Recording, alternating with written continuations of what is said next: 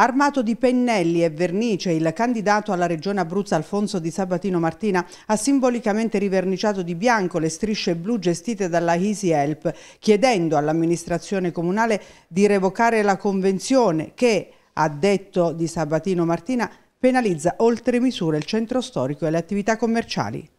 Chiedo la revoca perché è una convenzione priva di qualunque utilità pubblica. Allora, siccome fino a prova contraria l'ente pubblico deve fare gli interessi generali della collettività, nella misura in cui viene meno la pubblica utilità, io credo che sia necessario, onde, oltre, al fine di non evocare scenari diversi, che ci sia un po' di buonsenso e ragionevolezza da questa amministrazione che difetta in questo criterio principale, nel revocare una convenzione che ha dell'assurdo. Lei eh, quali aspetti contesta in particolare di questa Ma convenzione? Potremmo parlarne a lungo, io in conferenza stampa ne, ne ho citati alcuni, sicuramente c'è il tema assoluto della scarsa utilità in termini economici, c'è il tema assoluto del eh, provvedimento liberticida nei confronti del commercio che già vive una condizione di grandissimo disagio in questa città.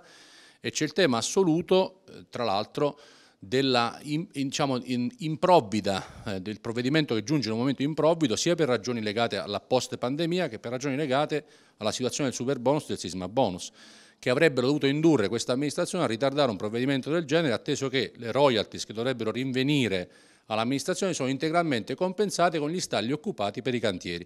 Mi dica lei se c'è la pubblica utilità.